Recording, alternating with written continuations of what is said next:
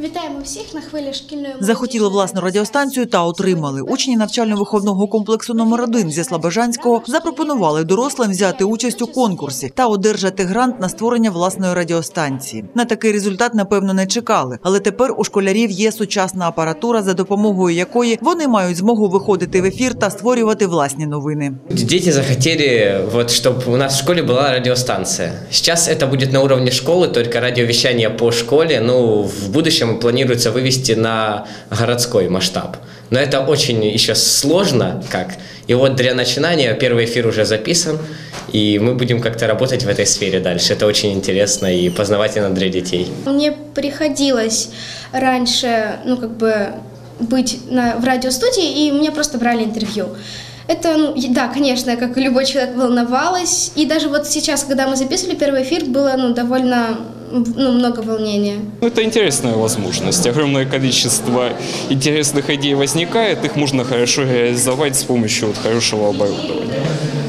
Его у нас ранее не было, сейчас оно у нас появилось, и мы его только осваиваем, но вариантов уже достаточно. Ідею профінансувала програма Добре. Це п'ятирічний проект Агентства США з міжнародного розвитку, який спрямований на посилення місцевого самоврядування та створення кращих умов для розвитку об'єднаних територіальних громад. Слобожанська громада підготувала молодіжний грант по створенню цієї радіостанції, і ми підтримали. На відкритті молодіжної радіостанції побувала і Марія Йованович, надзвичайний і повноважний посол США в Україні. Дипломату реалізація такої дитячої ідеї прийшлася до душі. Це чудовий спосіб комунікувати і навчитися комунікаціям, навчитися спілкуватися з своїми співгромадянами, з людьми.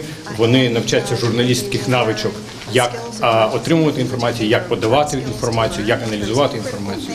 Thinking, how do you relate to people, how do you put down all sides of a story and kind of come to conclusions. Радіо працюватиме з понеділка по п'ятницю з 8 до 21. Поки випускатимуть лише новини, але творчі плани великі. Спочатку ефіри виходитимуть лише у НВК номер 1 пізніше у школі номер 2 А згодом їх можна буде почути по всьому Слобожанському. Мені було дуже цікаво. Ми щойно, поки всі спілкувалися з послом, обмінювалися думками з Беррі Рідом, який є керівником про- проекту Добре в Україні. І е, я сказав: ви знаєте, мабуть, нам ще дуже багато роботи треба зробити, адже в Штатах, мабуть, кожна школа має таку станцію.